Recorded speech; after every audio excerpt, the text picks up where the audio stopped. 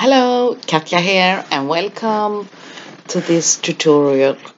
I have an old chocolate box uh, and it's already painted with white gesso. And here I have the gorgeous uh, tissue paper from Finnabair Romantica. And I will add some uh, interest to my box uh, by adding a first layer of uh, tissue paper. The chocolate box uh, was a red box from the beginning uh, and that's why I have added white. I was thinking to do other project but I changed my mind so this is, comes from my stash. I use soft gloss gel to add the tissue paper and I'm a little bit careful when I'm adding it because in some places I don't want to have too many wrinkles. Uh, so I add by piece by piece and I have uh, some parts uh, because I want the darkest color on the edges. Uh, it's not so randomly. Um, it will be a gift box for Valentine's Day, I'm thinking. But uh, you can do it with any box or anything you like to do the same technique. Uh, these uh, papers, tissue papers, they are so easy to use um, and to add to make like a background pattern and uh, this Romantica it's perfect for vintage projects I think.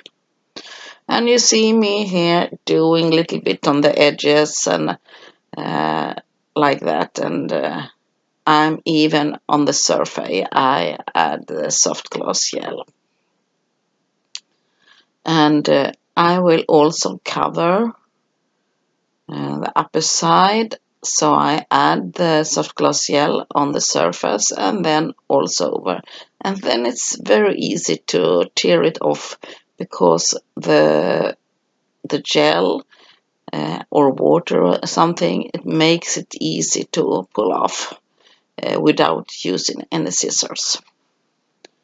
Here I have the impasto paints dark chocolate and I'm painting inside the box also doing a little bit on the edges uh, and I choose the impasto paints because it's a, re a, really thick paint and it makes a good cover to not show the white. When it's dry uh, I want to add some uh, texture to the surface and I'm using the modeling paste and the stencil Gothic. It's a gorgeous stencil with the Gothic uh, uh, text and I'm mixing here by first using the modeling paste and then the icing paste and that's to make a little bit more interesting surface. I don't blend them totally uh, I add first the modeling paste and then on the edges I add the icing paste. And this is to make a little bit more interest on the background. And be sure to clean your stencil. Uh, I use a baby wipe and sometimes pastes and uh, color they dry really really quick. And if you have uh, are in a room where you have water uh, it's always better. But I clean my stencils with uh, with the baby wipe. Okay here I have some embellishments. I have made them with the mold Finnabair mold Mechanica and uh, here I add a thin coat of uh, clear gesso. Uh, I could also use uh, the white gesso or black gesso, but here I want it to be like a thin, thin coat, and the clear gesso gesso is the, the most thinnest, uh, give the most thinnest coat. And you also see me use an old pair of scissors. Okay, time to add uh, the decorations. I have like a metallic, um, I don't know the name, net. Uh, and that's my first layer. I could use uh, anything I like in the background. And here I have the flea market scissors. Uh, and I use a heavy body gel because I want to be sure that the embellishments will stay. And uh, now I add my will add my embellishment and I have this watch um, already rusted like Uh, for my focal point. And I try to make a composition also to give the the clock something to stay on so it will stay flat. So the background gears is to give my decoration some stability.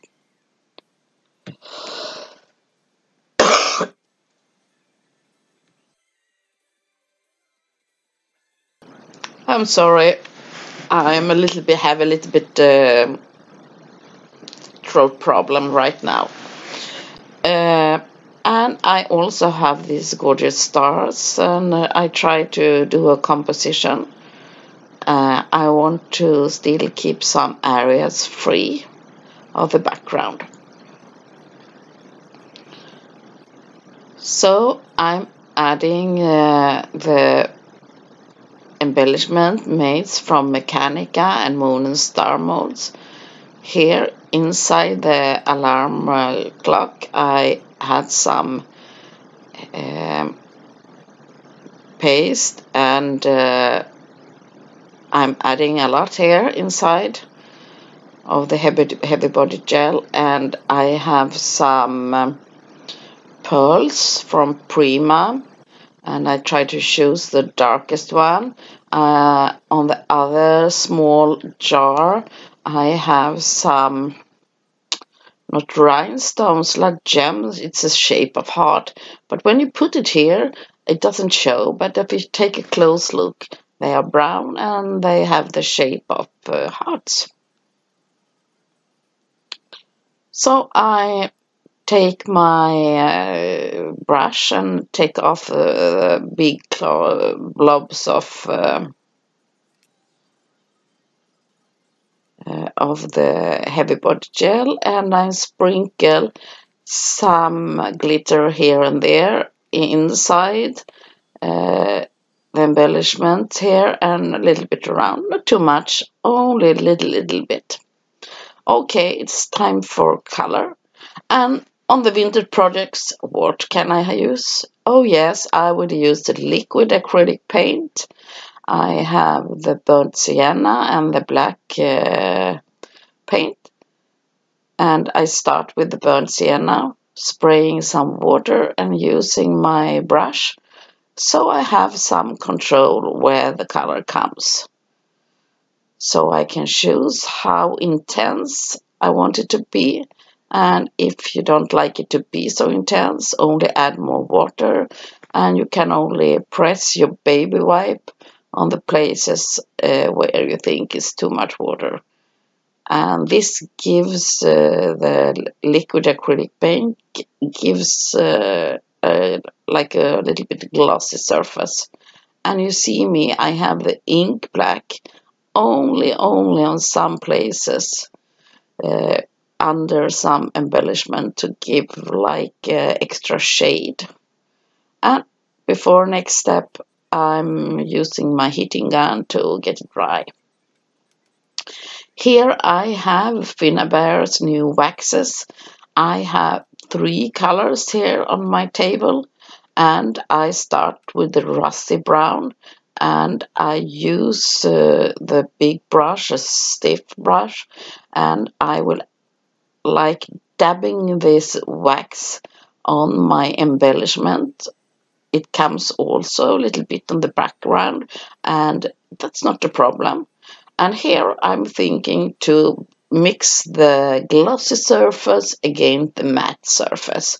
I think that gives interest. And now I take the baby wipe and I brush on the top where I want it to be a little bit more light. Uh, it takes about 10 minutes. Depends about the weather where you live, of course, to get the waxes dry. Uh, but you can use a baby wipe if you want to have a more uh, like whitish surface. But here I only to I don't want to give it a whitish surface. I want it to be like a grungy matte surface. And you see me using the red and I'm wiping it off and it gives the my embellishment a amazing look. And it's so difficult to see here on the video but it's looking really great. And I'm using my finger for the charcoal black.